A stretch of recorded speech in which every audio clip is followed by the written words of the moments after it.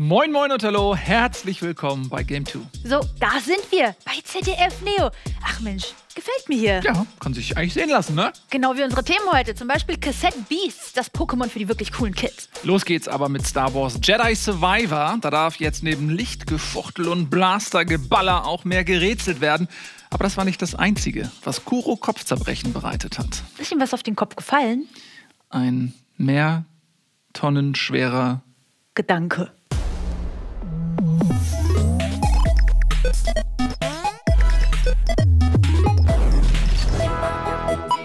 Kurz bevor der Aufstieg Skywalkers Ende 2019 die Machtrezeptoren der Fans weltweit aufs heftigste erschütterte, erschien im Oktober ein Star Wars Spiel des Apex Legends Studios Respawn Entertainment.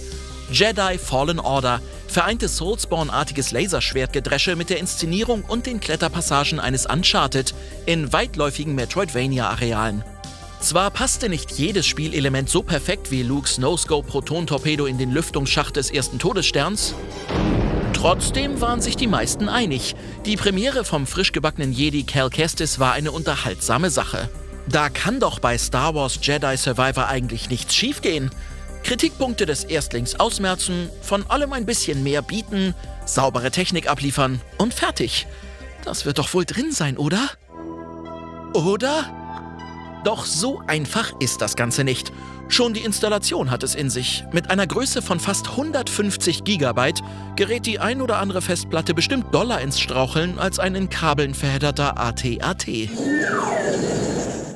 Bei so einem Wonneproppen von einem Videospiel, da wird die Grafik doch sicherlich richtig knallen. Moran, ein anständiger Bursch. Wie in alten Zeiten. Ach du Schande. Wir konnten kaum unseren Augen trauen, als wir uns ins Abenteuer von Star Wars Jedi Survivor stürzten. Auf der PlayStation 5 war das Spiel anfangs ein technisches Debakel. Ihr seht es ja selbst. Die Bildrate geht öfter in die Knie als ein loyaler imperialer Offizier vor Darth Vader. Und was ist denn bitte mit der Grafik-Engine los, dass Cals Bart Verstecken spielt, wenn er den Kopf dreht? Und irgendjemand bei Respawn hätte den Wassereffekten ruhig mal sagen können, dass wir seit einigen Jahren im HD-Zeitalter angekommen sind. Als wäre das nicht alles schon ärgerlich genug, gibt's heftige Performance-Einbrüche und Objekte laden stellenweise so spät, dass man dem Moment richtig entgegenfiebert, bis die Texturen endlich erscheinen.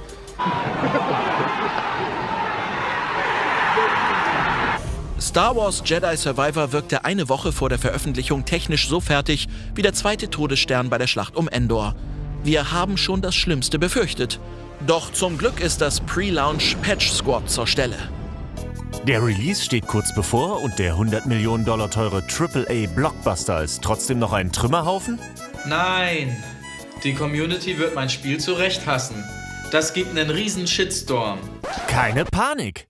Das Pre-Launch Patch Squad kümmert sich auch um Ihr Spiel. Egal ob matschige Texturen, Schon viel knackiger.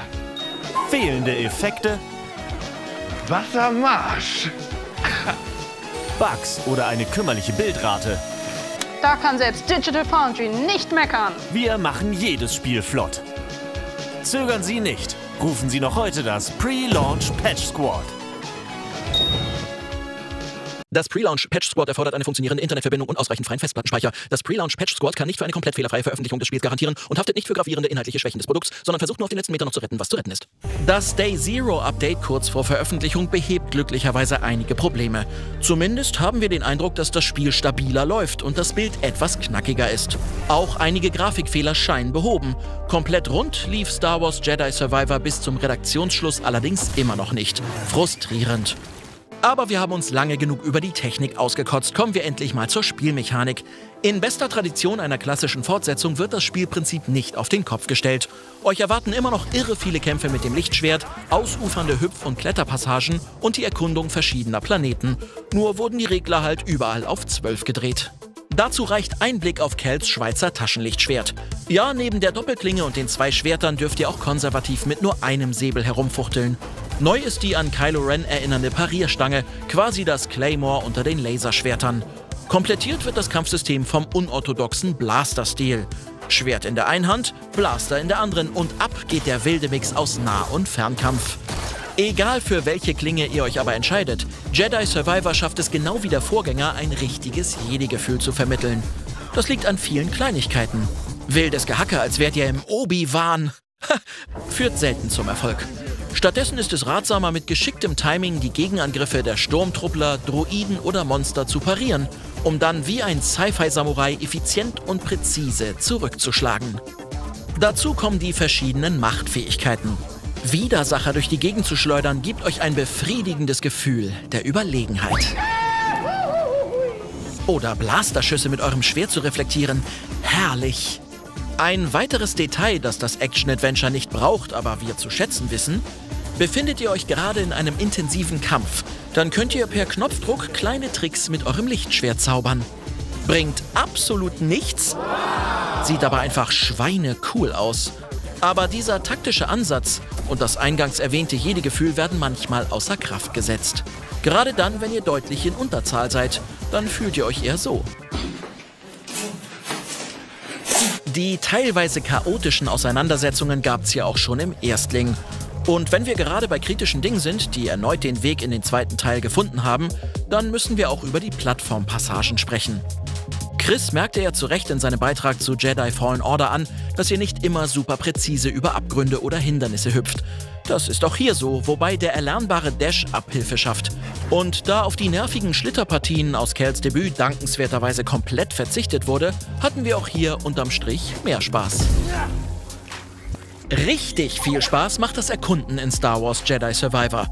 Wenn ihr als Kerl auf verschiedenen Planeten unterwegs seid, findet ihr gefühlt hinter jeder Ecke eine versteckte Truhe oder andere Kinkerlitzchen. Dabei kommt es vor, dass man gewisse Abschnitte in bester Metroidvania-Manier dank neu erlernter Fähigkeiten mehrmals besucht. Aber ihr stolpert nicht nur über neue kosmetische Gegenstände für Cal, BD1 oder eurem Lichtschwert. Hin und wieder trefft ihr auf Leute, Schrägstrich Druiden, die Cal dann in Pyloons Saloon schickt, eine Absteige auf dem Planeten Kobo. Zum Beispiel diese beiden hier, die ihr Holo-Strategiespiel im Saloon aufbauen, das ihr dann auch zocken könnt. Gärtnerin Pili gibt sogar ihr ganzes Hab und Gut auf und wechselt den Planeten nur, damit sie sich auf dem Dach der Bar um ein paar Blumenbeete kümmert.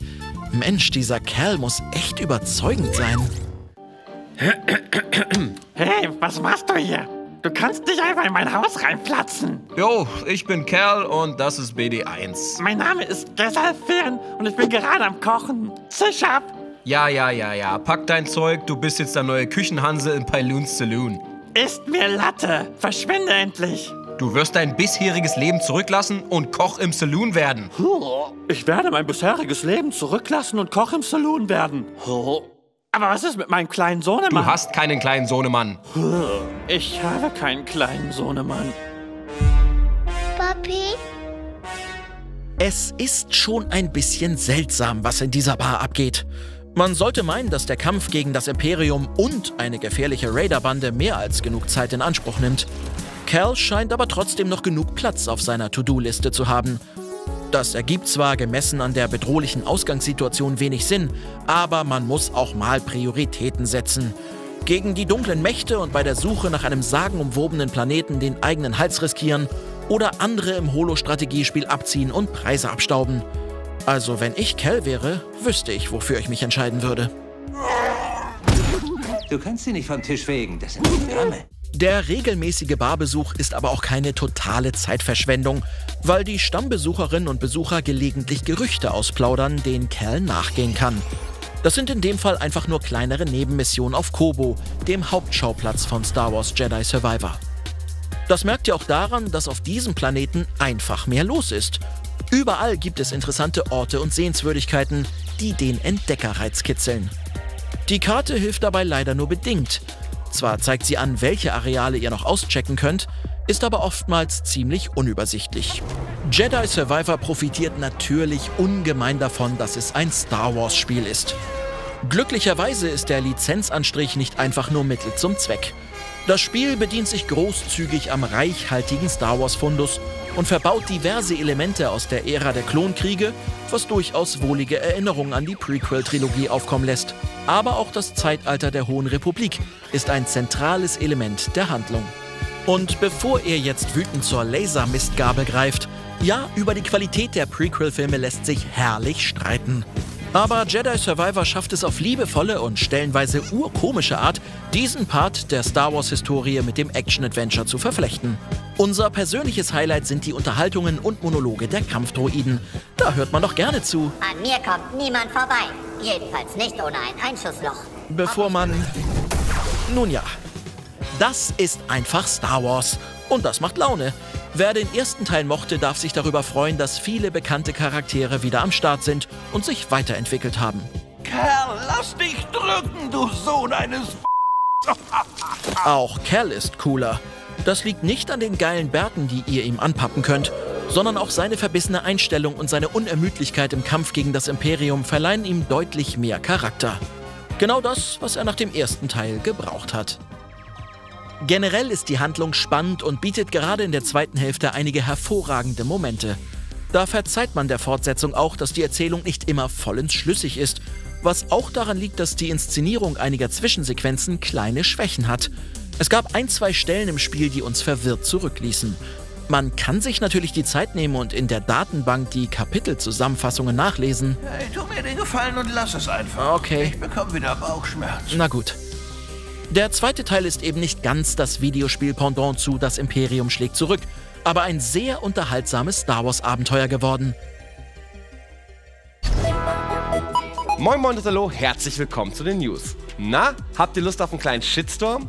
Letzte Woche erschien nämlich der neueste DLC zu Horizon Forbidden West Burning Shores und prompt ist eine hitzige Debatte entbrannt. Der Grund dafür ist, Achtung, kleiner Spoiler, ein optionaler Kuss zwischen Protagonistin Aloy und einer anderen Frau. Spielerinnen und Spieler boykottierten daraufhin den Titel, indem sie dem DLC auf Plattformen wie Metacritic mit Verweisen auf die langweilige Geschichte oder der LGBTQ-Propaganda schlechte Bewertungen gaben. Sony und Entwicklerstudio Guerrilla Games wird vorgeworfen, diese Beziehung nur für ihr gutes Image eingebaut zu haben. Nach dem Review-Bombing hat sich Metacritic selbst zu Wort gemeldet, die sich zukünftig um striktere Moderation bemühen wollen, um schneller gegen beleidigende oder diskriminierende Bewertungen vorgehen zu können. Weder Sony noch Guerrilla Games haben sich bisher dazu geäußert. Stattdessen gaben sie bekannt, dass Studioleiterin und ausführende Produzentin Angie Smets nach fast 20 Jahren zu den PlayStation Studios wechselt. Die neue Spitze von Guerrilla Games besteht jetzt aus Joel Eschler, Hella Schmidt und Jan Bart van Beek.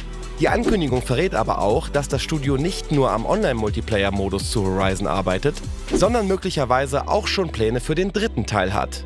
Zwar gab es auch schon vorher Andeutungen auf ein weiteres Spiel rund um Aloy und mechanische Dinos, mit dem Blogpost hat Guerrilla Games diese Vermutung aber jetzt indirekt bestätigt. Falls euch das noch nicht genug Diskussion war, gibt's jetzt hier die nächste. Und zwar über die super realistischen Bilder im Trailer vom Shooter Unrecord. Über das Spiel ist bisher nicht viel bekannt. Man schlüpft in die Rolle eines Polizisten und erlebt alles aus der Sicht seiner Bodycam.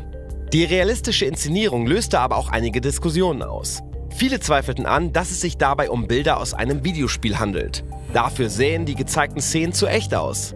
Stattdessen war die Vermutung, es würde sich lediglich um zusammengeschnittene Bodycam-Aufnahmen oder eine Tech-Demo handeln. Auch beim zweiten Diskussionsthema ist die realistische Grafik der Dreh- und Angelpunkt. Die gezeigte Gewalt wirkt auf viele dadurch sehr verstörend.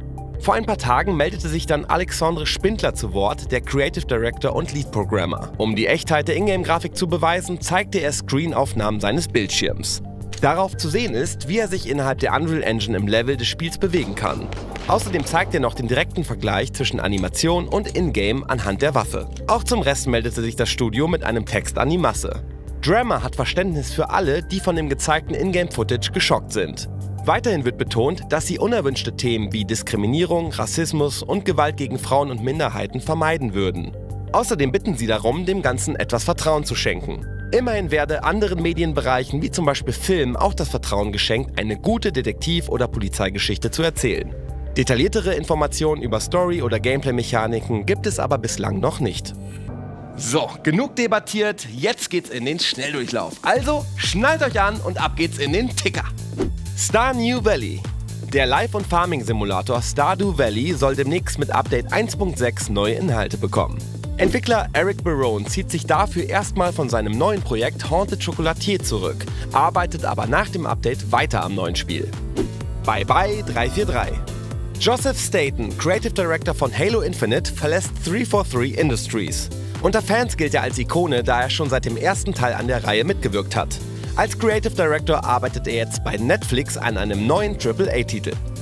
Übernahme Stopp. Die britische Kartellbehörde CMA lehnt die Übernahme von Activision Blizzard durch Microsoft ab. Als Grund nennen sie die daraus resultierende zu starke Marktstellung des Tech-Giganten, vor allen Dingen im Bereich Cloud Gaming. Zu Ende ist das Ganze aber trotzdem noch nicht. Activision Blizzard-Chef Bobby Kotick will Einspruch einlegen. Übernahme Go! Sega hat sich für umgerechnet 708 Millionen Euro Rovio Entertainment eingesagt. Rovio hatte 2009 großen Erfolg mit dem Mobile-Spiel Angry Birds, das seitdem sogar zwei Filme hervorgebracht hat. Das gab es so nie. US-Senator Kevin Kramer äußerte in einem offenen Brief an Sony Bedenken darüber, dass sie aufgrund ihrer deutlichen Marktführung und der vielen Exklusivtitel wettbewerbswidrig handeln würden. In diesem Zusammenhang stellte er diverse Forderungen, doch Sony nahm dazu bisher noch keine Stellung. Die Games können kommen. Los geht's! Der Ticketverkauf für die Gamescom 2023 ist gestartet. Kurze Zeit später ließ auch Nintendo verkünden, dieses Jahr als Aussteller zur Messe zurückzukehren. Coole Sache! Im neuen Showcase zu Street Fighter 6 haben wir nicht nur Bilder zur neuen Open World gesehen, sondern auch krasse neue Gegner, wie beispielsweise Kühlschränke. Heftig! Und damit haben wir dann auch das Wichtigste aus den vergangenen zwei Wochen aufgeholt. Ich sage Tschüss, bis zum nächsten Mal, euer Krogi. Das Spielejahr 2023 ist schon ordentlich am Brodeln, hört aber einfach nicht auf, Kohlen ins Feuer zu schmeißen. Nach den zig Hochkarätern, die wir dieses Jahr schon serviert bekommen haben, steht schon der nächste Knaller vor der Tür. The Legend of Zelda Tears of the Kingdom. Und was ihr vom neuen Zelda erwarten dürft, das kann euch jetzt Trant sagen. Der hat es nämlich schon anspielen können. So ist es. Guckt, ich habe auch ein Selfie bei Nintendo gemacht. Doch gleich zum Einstieg will ich sagen, dass es bei der rund 90-minütigen Anspielsession weder um die Welt noch um Bosse oder irgendwelche Story-Details ging. Stattdessen lag der Fokus komplett auf Links neuen Magiefähigkeiten, die bereits vor einigen Wochen von Zelda-Producer Eiji Aonuma vorgestellt wurden und die das Gameplay maßgeblich prägen werden. Namentlich sind das die Fähigkeiten Ascent, Recall, Fuse und Ultra Hand. Was es mit denen auf sich hat, will ich schnell zusammenfassen. Mit Ascent lasst ihr Link zu Plattformen über sich aufsteigen und durch sie hindurchschlüpfen. Die Recall-Fähigkeit befördert sich bewegende Objekte zurück an ihren Ursprungsort und mit dem Fuse-Befehl lassen sich unzählige Gegenstände mit Links Waffen verschmelzen. Die Ultra Hand Magie ist die vielseitigste der vier, denn damit lassen sich nicht nur alle möglichen Dinge heben, bewegen und drehen, sondern auch zu komplexeren Gerätschaften zusammensetzen. Und jetzt, wo wir alle auf einem Nenner sind, kann ich einordnen, wie sich das gespielt hat. Zunächst einmal war ich unheimlich beeindruckt von den Freiheiten, die mir diese Skills gegeben haben. Denn soweit ich das erleben durfte, schreibt mir das Spiel nie vor, wie ich eine Situation zu bewältigen habe. Ein Beispiel. An dieser Stelle musste ich den Turm auf dem Hügel erreichen. Ich konnte ganz normal die Treppen hinaufsteigen und die Bokoblins vertrimmen. Ich konnte aber auch via Ascent-Fähigkeit die Treppen umgehen, um einen Feind von hinten zu überraschen. Was zwar nicht so gut klappte, doch dank der Recall-Magie habe ich das Schießpulverfass, das er auf mich werfen wollte, einfach zu ihm zurückgeschickt. Und als ich dann in der Hügelfestung eine auf die Nuss bekam und wieder von vorne beginnen musste, dachte ich mir, ich probiere mal was ganz anderes. Ich holte aus meinem Inventar Heißluftballon, Ventilator und Flammenwerfer, klebte den ganzen Kram auf eine Plattform und flog damit einfach über die ganzen Feinde hinweg, hin zum Turm. Wie cool! Dass dieser waghalsige Plan tatsächlich funktionierte, gab mir schon ein besonderes Erfolgsgefühl. Eben weil diese Lösung meiner Kreativität entsprang und mir nicht durch ein festes Schema aufgezwungen wurde. Deshalb denke ich, dass dieses Ultra-Hand-Feature eine Bereicherung ist. Wenngleich ich noch leichte Vorbehalte habe. Denn zum einen ist die Bastelei in der Handhabung etwas kompliziert und ob sich die Eigenkreationen bei der Benutzung so verhalten, wie man das will, weiß man auch erst hinterher.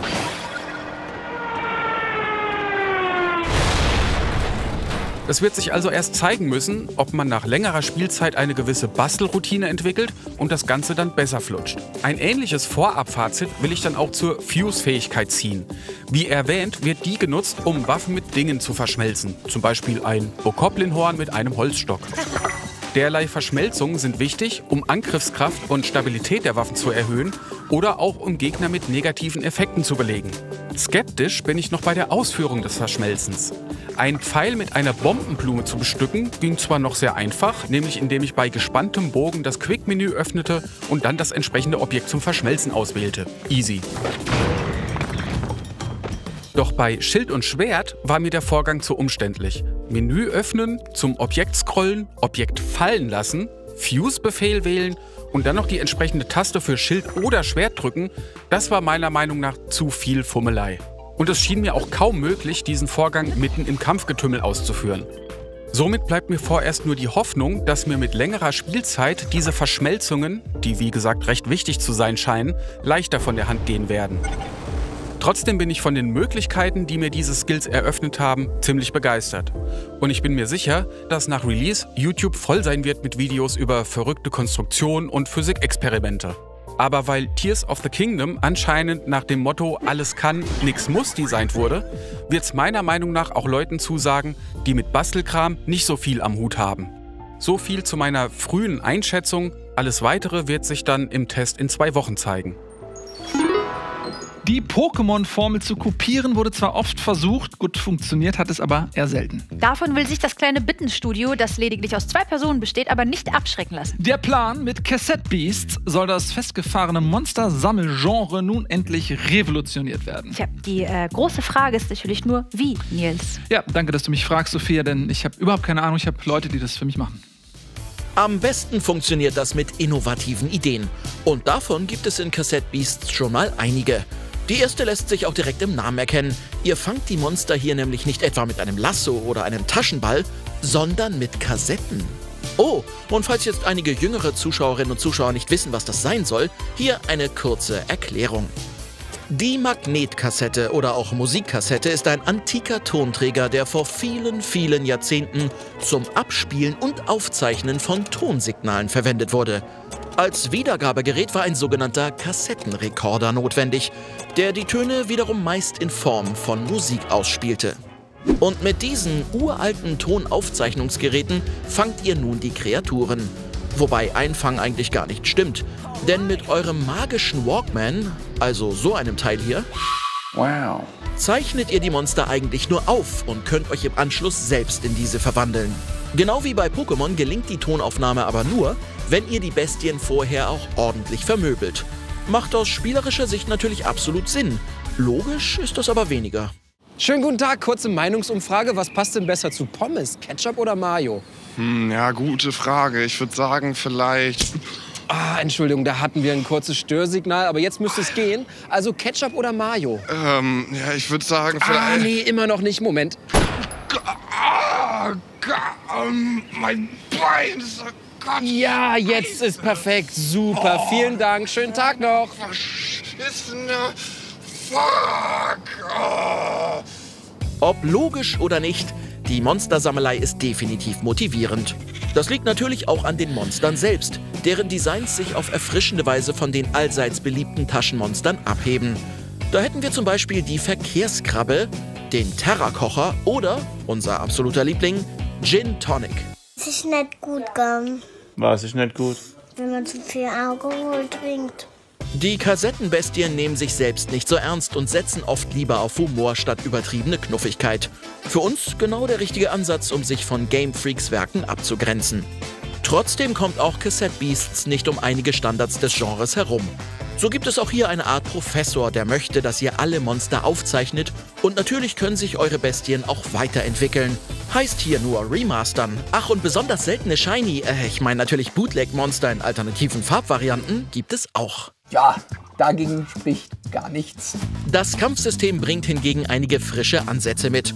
Grundlegend ist es rundenbasiert und es treten meist auf beiden Seiten je zwei Monster an. Interessant wird's mit der Auswahl der Attacken. Die kosten nämlich je nach Stärke unterschiedlich viele Punkte und pro Runde steht euch nur eine begrenzte Anzahl davon zur Verfügung. Zu Beginn eines Kampfes könnt ihr so auch noch nicht eure heftigsten Moves benutzen. Mit jeder neuen Runde bekommt ihr weitere Angriffspunkte dazu, weshalb ihr jedes Mal genau überlegen müsst, womit ihr angreift. So sind die Schlachten taktisch und manchmal auch ganz schön knackig. Damit das Ganze aber nicht frustrierend wird, habt ihr noch eine weitere Option, die Fusionen. Damit könnt ihr zwei beliebige Monster vereinen und ein völlig neues entstehen lassen. Das ist nicht nur deutlich stärker, sondern verfügt auch noch über sämtliche Fähigkeiten und Attacken der Vorgänger. Außerdem kassiert das Supermonster jede Runde doppelte Angriffspunkte, womit es häufiger seine stärksten Attacken um sich feuern kann. Fusionen könnt ihr aber nur nutzen, wenn dieser Balken hier voll ist, was schon mal länger dauern kann. Die Fusionen sind eine wirklich spannende Sache, weil wir jedes Mal neugierig auf deren Ergebnisse waren. Da es über 14.000 verschiedene Kombinationen gibt, sollte es in der Theorie so schnell auch nicht langweilig werden.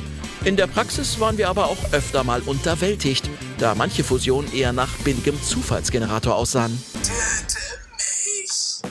Die letzte große Mechanik und vielleicht auch die wichtigste sind die Wechselwirkungen zwischen den Monstertypen.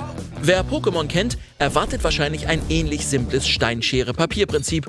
Also Feuer ist zum Beispiel effektiv gegen Pflanze, aber schwach gegen Wasser. Mit Vorwissen und Logik kommt ihr aber nicht weit, da einerseits zu den gängigen Typen noch Elemente wie Plastik, Glas oder Glitter dazukommen und die Wechselwirkungen andererseits noch massenhaft Bonuseffekte auslösen können. Das ganze System ist so komplex, dass es schon fast einen Doktortitel braucht, um alles zu verstehen.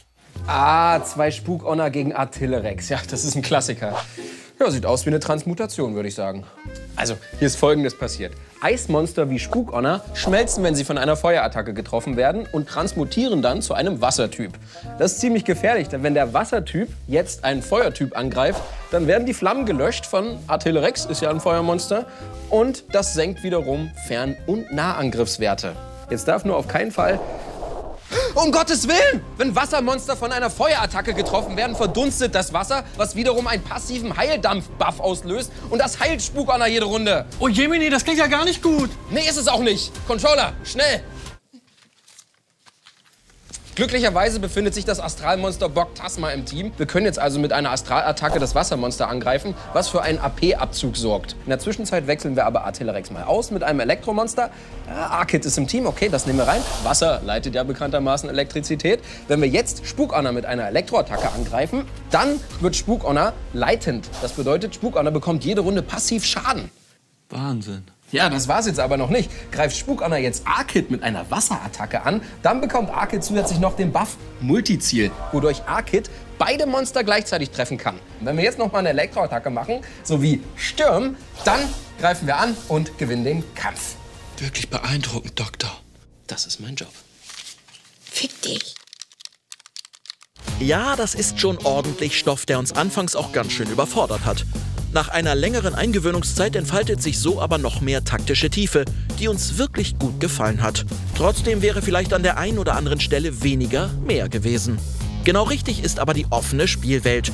Die ist im Grunde auch von Anfang an geöffnet. Nur ein paar natürliche Hindernisse wie Wasser oder Berge versperren euch gelegentlich den Weg. Um die zu überwinden, müsst ihr Fähigkeiten wie Gleiten, Stürmen, Schwimmen oder Klettern erlernen, für die ihr bestimmte Monster braucht. Es ist nur gar nicht so leicht herauszufinden, welche Kreatur denn jetzt genau benötigt wird. Zwar erfahrt ihr von manchen Monstern durch Gerüchte in der Stadt, es kann aber auch vorkommen, dass ihr ein Fähigkeitenmonster komplett überseht. Wir haben zum Beispiel erst sehr spät im Spiel schwimmen gelernt, weil wir diesen drolligen Tauchhund lange nicht gefangen haben. Besitzt ihr aber irgendwann alle Fähigkeiten, macht es Spaß, die Welt zu erkunden. Neben schicken Schauplätzen wie diesem Kirschblütenwald oder diesem verlassenen Einkaufszentrum gibt es an jeder Ecke kleinere Rätsel, die uns gut bei der Stange gehalten haben. Die Story hingegen war eher unspektakulär. Gefühlt wie in jedem zweiten Rollenspiel landet ihr plötzlich am Strand einer unbekannten mysteriösen Welt. Euer Ziel ist es, einen Weg zurück nach Hause zu finden. Dabei stellen sich euch neben einer finsteren Organisation bestehend aus bleichen Immobilienmaklern noch Erzengel Supermonster und dieser komische Dreieckskopfmann in den Weg.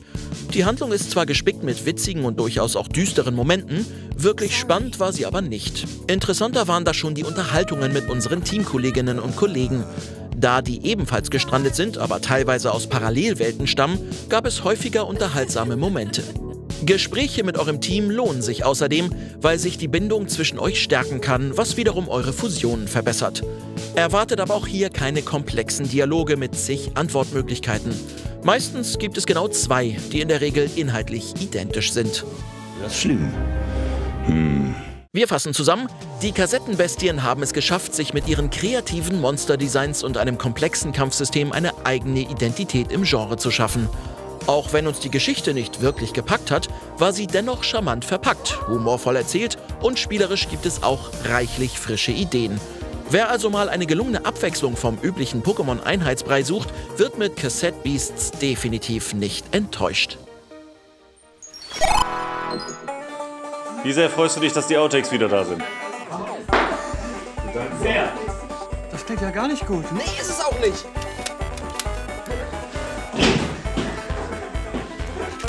Ist es auch nicht. Controller, schnell. Was haben wir hier? Du kannst nicht einfach mein Haus reinlassen. Mach mal blablabla.